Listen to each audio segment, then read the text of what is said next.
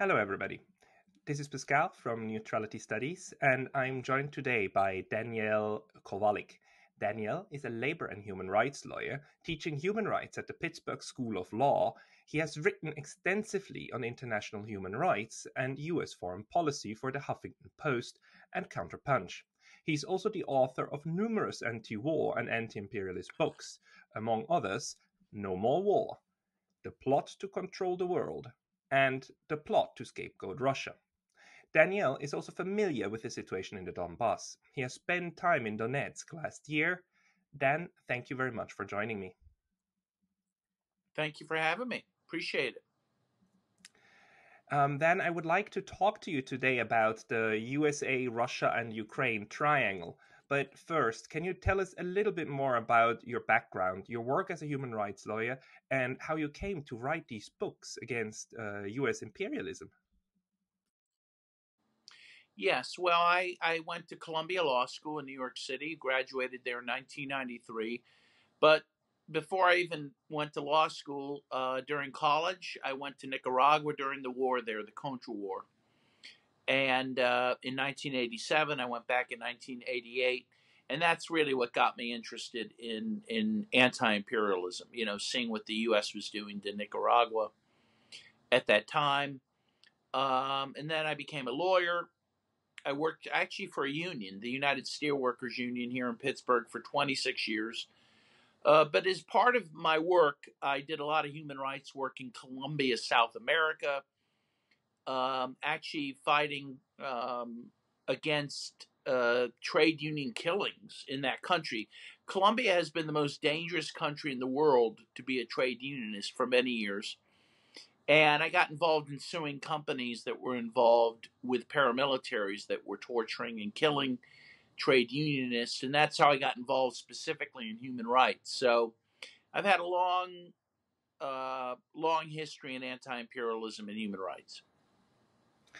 Uh, I see. And then uh, last year, if I understand correctly, you decided to visit the Donbass, and a considerable part of your recent work has to do with Russia. And you're very outspoken about it. Uh, you were also on the rally against the war machine, if I if I got that right, um, recently in Washington, right? So how come that you um, that you went to the Donbass? I mean, this very contested area.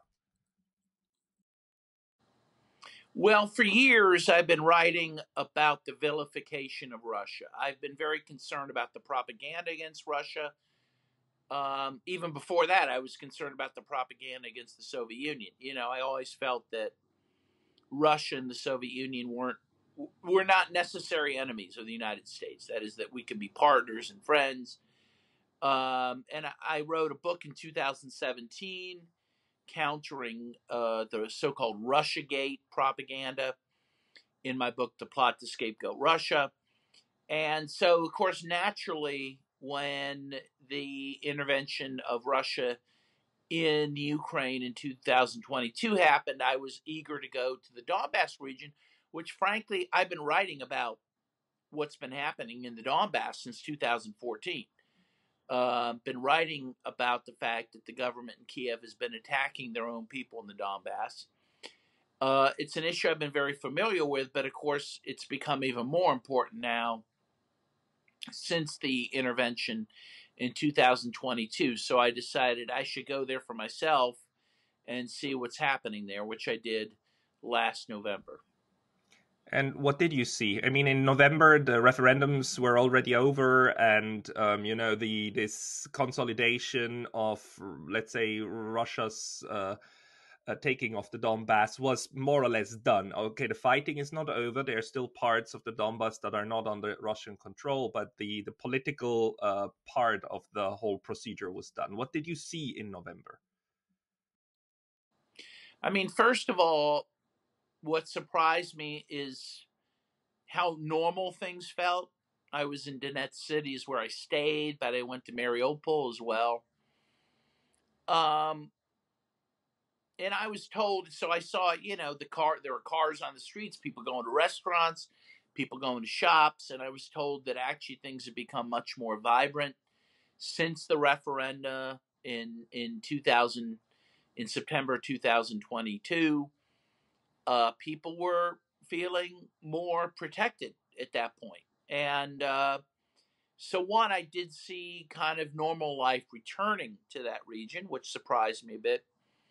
But also, I witnessed uh, the fact that Ukraine was shelling civilian targets in Donetsk, including a school while I was there, the soccer stadium, a place where people go to gather water because uh, some time ago the government of Ukraine cut the people off in the Donbass from the water supply, um, and also a uh, there uh, a monastery there was being bombed almost daily uh, by the government in Kiev. So those were the you know uh, things that I witnessed. I talked to a lot of people in Donetsk who've been fighting against uh, Ukrainian forces since 2014. I met people who were taken captive both by the you know official Ukrainian security services, also though by the Azov battalion, and how they were mistreated and tortured. Um, those were the the things I saw there.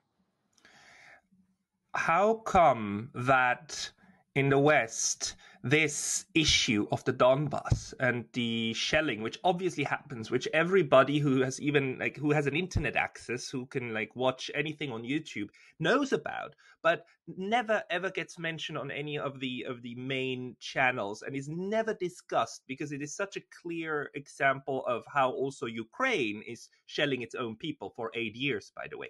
Why is it that in the free world with a free press there is so much propaganda because we are told that propaganda only happens in Russia. That's on China. Those are the only ones. The free states never do that. How how do you how do you explain that? Well, first of all, of course, it's in the interest of governments such as that of the U.S., other Western governments, not to talk about the fact that this war has been going on since 2014. They want the public to believe the war started in February of last year with the Russian intervention in Ukraine. They don't want people to know that 14,000 people died in the conflict between, again, the government of Kiev and their own people in the Donbass, even before the Russians uh, intervened in February 2022. It's inconvenient to the narrative. Also, inconvenient to the narrative is the fact that there are Nazis that are, you know, part of the Ukrainian government military, which again, anyone in Donbass will tell you is is the fact. Now, what you're also asking is, well, how is it possible, though, even if that is the interest of the Western governments, not to talk about those things? Why are the media who are allegedly independent and free. Uh, why are they going along with that narrative? Why are they uh, suppressing the alternative narrative? And that's because they are now owned by major corporations, which themselves have taken, you know, these governments captive. I mean, we now have almost a perfect marriage between corporations and the governments, right? And the same corporations own the media and so, you know, long and short of it is we don't really have a free press, right? We have a press that pretends to be free. And uh, there's a certain amount of discourse allowed in the press, but it's very limited. And uh, of course, Noam Chomsky and Edward Herman have been writing about this since the 70s, you know, in books like Manufacturing Consent. But it's even worse now. And why is it worse? Because in the past at least, newspapers, for example, had people who bought newspapers, right? So they had certain revenue they generated from people, from the public. So they were a, a little bit accountable to the public. Now no one buys newspapers, right? Um, and so now media outlets are totally dependent on corporate advertising. So not only are they owned by corporations, but they are completely dependent on corporations for their revenue. So now there's almost no space in the media for public true public discourse.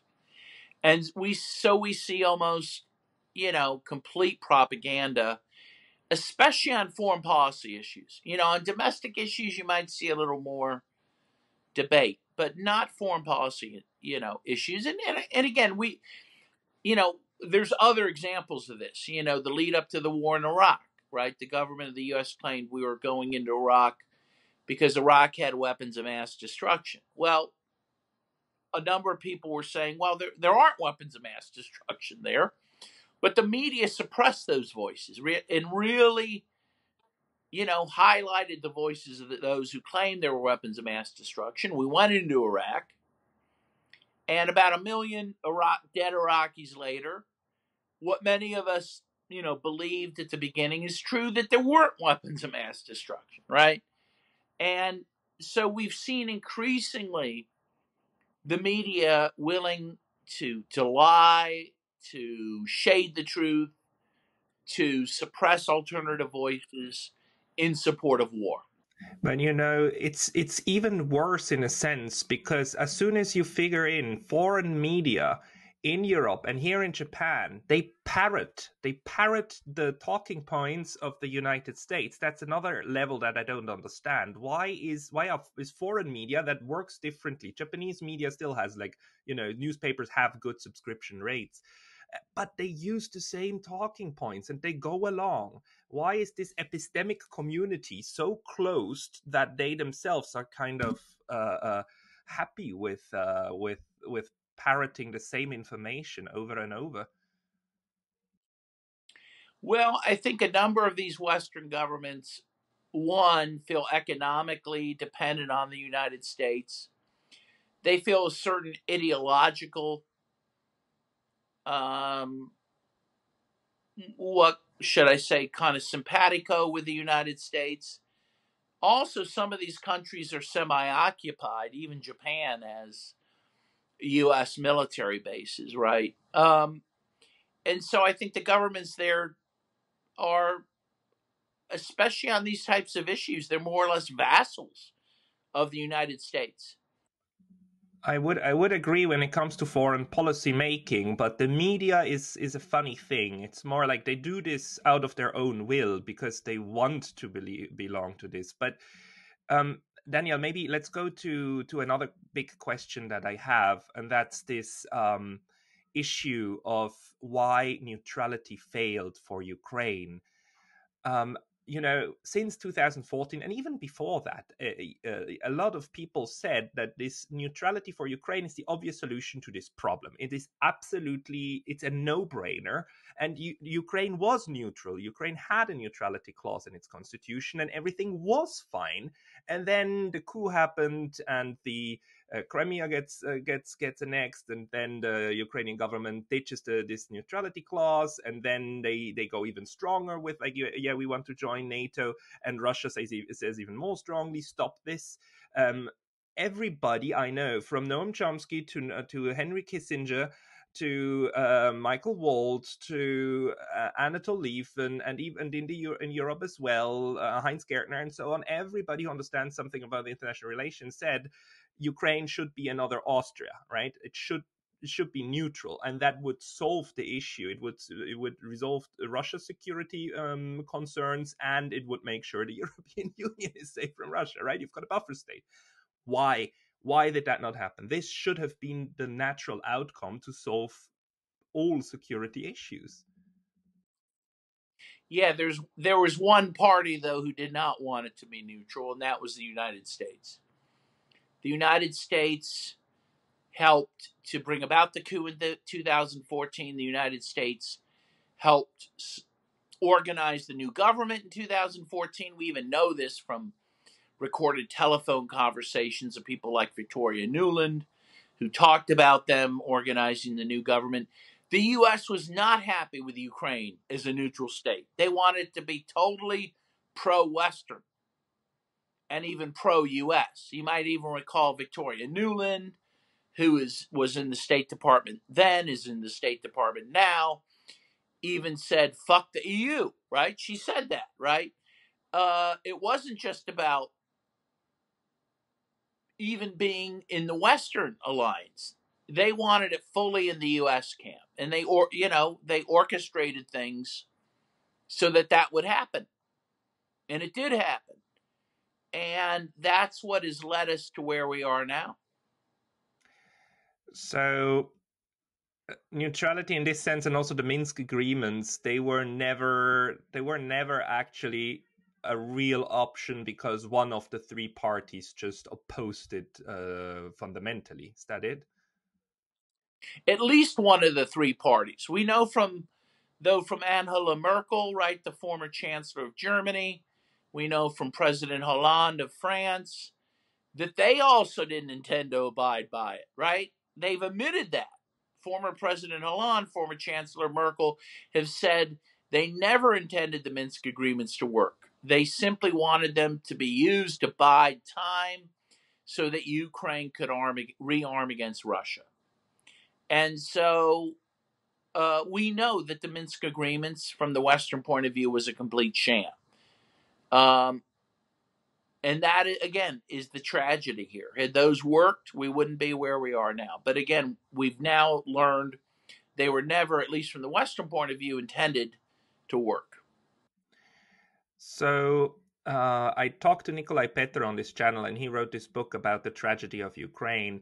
And in his view, uh, the the this international eh, war wouldn't have been possible had it not been for the internal ruptures of the Ukrainian society, especially the Rus- um, the well Russian pro-Russian East and the Galician West, the Ukrainian West, and uh, the and and this little fraction of uh, Nazis and and uh, ultra right um, fascist forces that are able to capture the entire political process. Uh, he says he says this this part is really kind of very small but ultra violent and therefore able to hold uh, politicians in Kiev hos- uh, hostage. From your research and also what you've what you've seen in, in the Donbass and talked to people, uh, would you agree with him that this fraction is small or is it is it big? How big is the neo-Nazi problem in Ukraine? Well, again, I think however big or small it is, I think the point that he made is true, and that is that they have been able to capture the government. There was a very good expose by Grayzone, if you follow that, about how when Zelensky was elected in 2019, he was elected on a peace platform, right? He he ran on a platform to make peace with Russia. But he was very quickly told by the neo Nazis or Nazis, you know, the former president of Uruguay, very beloved uh, uh, President Mujica, said you can't even call them neo Nazis. They're just straight up Nazis. You know, they told Zelensky, you can't make peace with Russia. You have to uh, go after Russia. You have to go after the Donbass, or we will kill you. And so clearly, the government there is held captive by these Nazi forces. So, in your view, how is Russia now intending to to resolve this problem? Because okay, the West has said there's no neutrality for Ukraine. We will never allow it. Right? This would have been the best case scenario. So now the second now Russia will have to go for the second best, and uh, actually the U- the U.S. NATO is also trying to go. They are going to try try to go for the optimum, right? Although this looks increasingly unlikely. Um, but from the R- Russian side, what do you think is now going to be their desired outcome? Because, like, let's face it, an, an entire capturing of Ukraine is nearly impossible. You can't have 24 million people hostile to you in the in the West who would then fight a guerrilla war against all of your police stations and so on forever. So, what do you think will is is the goal at this point? I think the goal is to maintain the four republics that voted to go with Russia into in 2020 September 2022. Maybe add on Odessa. Um, we'll see, but certainly those four republics. But meanwhile, to totally demilitarize Ukraine, I mean, they are eating up all of Ukraine's military resources. In fact, they're even eating up all of NATO's resources, right? So I think in the end, they they will have a demilitarized West, and they'll have control over the four republics um, that that voted to be with them in September. I think that will be the end. I think that is the ultimate goal here. And on the other hand, what do you think was the goal of the West? You know, like uh, adding Ukraine to NATO, and then what? What would have what would that have served? What purpose would that have served? I think the goal of the West was and is to destroy Russia. And I think the Russians saw that. I think the Russians felt that either they would take this you know this battle to Ukraine now or they'd be fighting on Russian territory. And when you hear various officials of the US who talk about wanting to use Ukraine to weaken Russia, that they'll fight Russia to the last Ukrainian, it's very clear that Russia was on the chopping block. And I think that, that that is still the goal of people, you know, some leaders in Washington. Um, no, nothing about this is about Ukraine, right? This is all about Russia. They wanted to use Ukraine to destroy Russia in the same way that the U.S. used Afghanistan to undermine the Soviet Union. And again, the U.S. ultimately was pretty open about those goals. You know, um, uh, Brzezinski himself wrote about that later. And he wrote about using Ukraine to weaken Russia in his 1997 book, The Grand Chessboard, which, by the way, everyone in Donetsk knows about. When he first talked to people in Donetsk about the conflict, the first thing they mention is the Grand Chessboard. So Ukraine has always been seen by the U.S. as a way to weaken Russia. Uh, and that's going back even to the 1920s. So we are basically back to the 19th century world where war is a tool in order for states to accomplish their kind of interests and missions. And if one of the interests is to destroy a potential peer competitor then so be it right? You do it with war and you do it with propaganda. Now when i look at the united states what i especially at the media what i often perceive is uh, this projection. They project on other nations what what is actually what they are doing at the moment. And one of the projections I right. see at the moment in the U.S. media is the the, the lessons China is learning uh, from from this war for Taiwan. Oh my God! So obviously the U.S. is now thinking about how to have a war with China. Now, on if we flip the script and say like, what should China and Taiwan learn? How can how can Taiwan um, stop becoming the next Ukraine without like you know because you're you're you're in between two elephants right? So i mean i'm not saying that china is the is the is the solution to to to, to that problem but what would be your advice to a battlefield that is not yet a battlefield but that is clearly already design uh, designated to become one well, I think Taiwan should look at the lessons of Afghanistan and Ukraine and first of all reject those options. They don't want to go there. They do not want to be the next cannon fodder for the United States. That that's got to be the first goal. And the fact that people voted in the Kuomintang in the last elections, which you know they're not pro-China, but they at least want to make you know some kind of rapprochement with them shows that's what the tai- Taiwanese want to avoid. They want to avoid being cannon fodder for the United States. And that means again maybe going to really what you you know uh, uh, Yanukovych was trying to do in Ukraine before he was overthrown in 2014, and that is to find a certain kind of balance, a certain neutrality between the two powers. Um, and I think that is what Taiwan is looking for right now. Because again, they do not want to be the next Ukraine.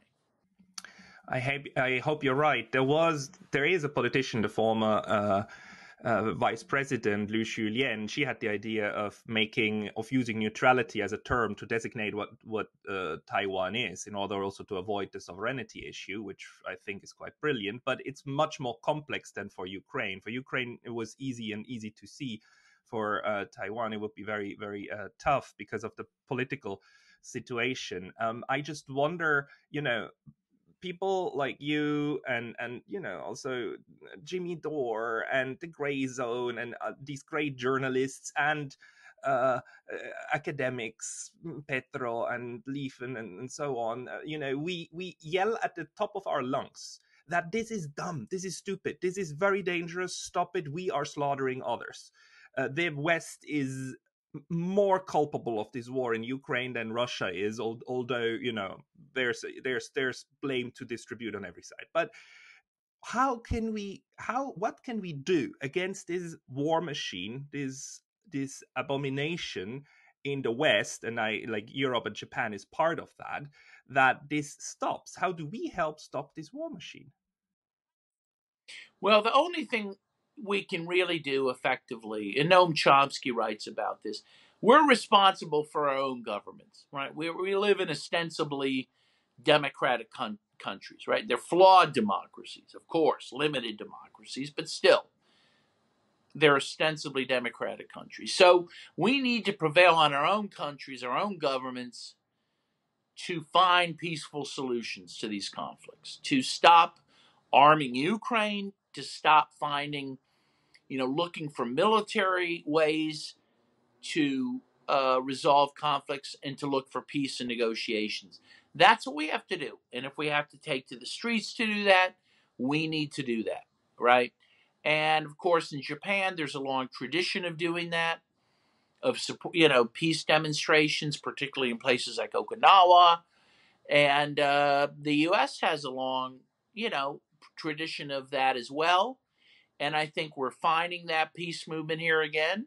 And that's what's critical. You're absolutely right about that, Dan. Thank you very much for for these words. Um, your analysis has been very um, uh, insightful. So I hope we can keep that discussion up and also create a global movement against this war machine. Uh, Dan Kovalik, thank you very much. Thank you. I appreciate it.